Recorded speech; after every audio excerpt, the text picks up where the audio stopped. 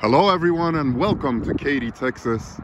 We're here on a beautiful day at the parking lot of Katy Mills Mall. And I have the 2023 Honda CRV EXL model. And I just want to quickly show you how to open the gas tank cover because um, I had trouble doing it myself and I looked on YouTube and at the time of posting this, nobody has um, really mentioned it and how to do that. So I'm gonna quickly show you that. This is my vehicle and uh, to open the gas cap, if the vehicle is locked, like right now is locked, you have to press this, but it will it will not open. So I had trouble myself doing it at the gas station. Come to find out, if you open the vehicle, now it's open, you just push it and it pops open. There is no lever on the inside of the vehicle to open um, the gas tank cover. So while it's locked, so when it locks, you cannot open it when you push it. But it will open when it's uh hi how are you? No no. Yeah thank you.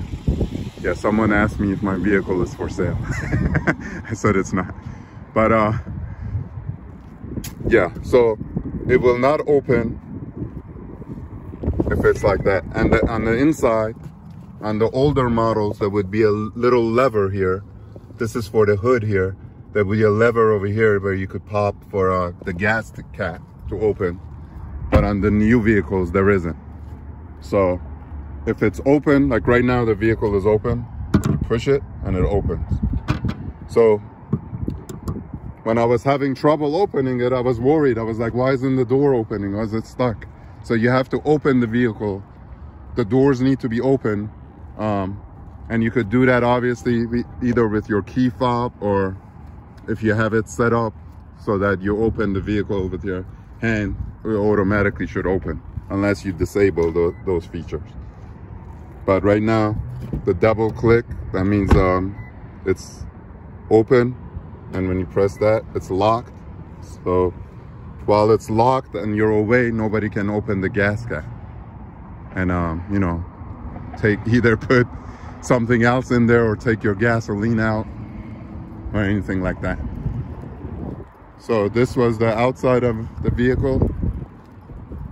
2023 Honda CRV. I already had an offer.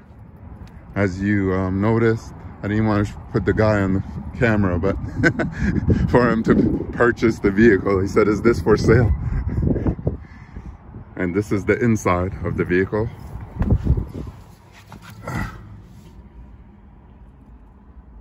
Pretty nice, pretty roomy too even compared to the last year's model, the 2022. So please, if you like this video, give me a thumbs up, especially if that was helpful to you. Um, leave a comment and subscribe if you haven't subscribed. Hope to see you on my next video. Appreciate it. And bye-bye.